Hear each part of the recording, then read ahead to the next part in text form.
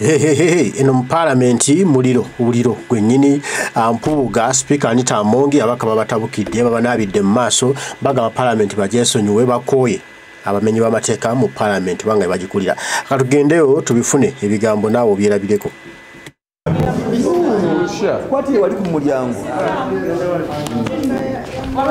Kwatire wali? Come here to make my voice and to say if we don't act over this matter, meaning we are condoning, we are encouraging corruption in Uganda.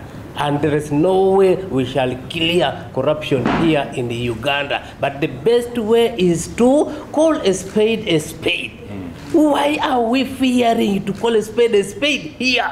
Huh? May I call upon the president also to come in? He should not look into these things and say it is a play. No. We are having a bad record as Ugandans. What are we doing? No, when we have people like departments of judiciary, we have it here. That can, that can advise the speaker, that can advise the president, that can advise even the clerk. I was even in the uh, clerk's office and I told the clerk that the abuse comes to your office because you are a technical person and you are keeping quiet with the, this issue. Why are you keeping quiet? Why can't you advise these people who are chairing the parliament? Why can't you advise them such that they correct and say, no, this is wrong? And if we don't correct ourselves, how shall the community the committee, the, the people we represent down there, how will they perceive us? Which message shall we be giving them as we are getting back to maybe do some other campaigns? Campaigns maybe to bring development to what? That this issue has even gone down. That's why you see PDM. There, is, there are issues in the PDM, eh? which we need to correct from the top. And when we are reaching it down, things will be fine. Eh? Who doesn't want development? All of us want development, and we are here to develop our people. I thank you. good because we see you have fire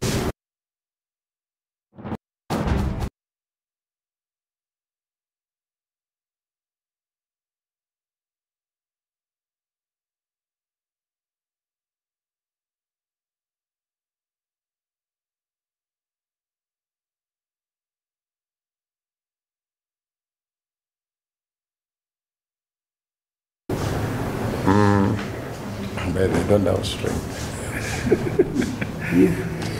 Sad day for some of us, the petitioners. You are aware that today, Monday, is the last day, the 14th day of our petition to have been put on the order paper.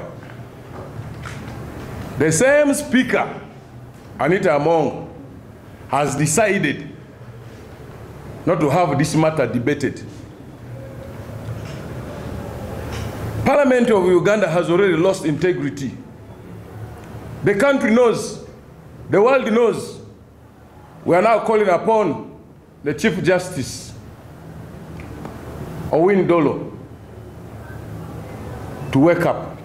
He needs to check his institution, the judiciary. It has started losing. It has started getting compromised by forces from this parliament. This ruling, this ruling here, we call upon the Chief Justice to review it, whether it's genuine or not. These fools took themselves to court. These thieves, they took themselves to court, created their own case, and it was passed in their favor. This ruling has nothing to do with our petition. It has nothing to do with our petition. Our petition was on grounds provided by the rules of procedure of parliament. Rule 110. And also, and our, our, our petition has other grounds. We are not looking at the service award alone. We are looking at issues of misconduct. What are these issues? Commissioners giving themselves illegal trips with their spouses. Somebody is going away for a trip, benchmarking trip for 30 days, which is not there in actual sense. Illegal recruitments in this parliament, where the commissioners have their own relatives, sisters, brothers, husbands.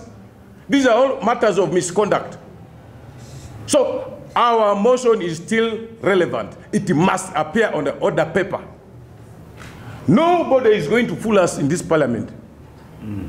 If you don't know to interpret the law, if you don't know how to interpret our petition, then you should hire machineries or lawyers to come and interpret for you.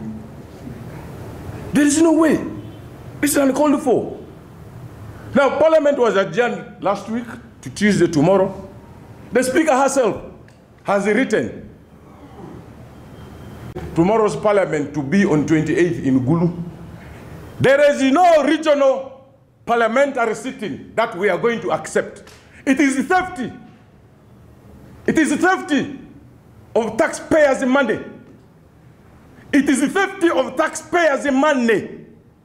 Which special message is going to be sent in Gulu that cannot be sent from this parliament here centrally?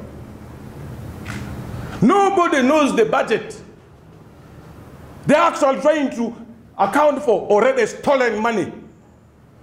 If not, where is the budget for the regional uh, parliaments?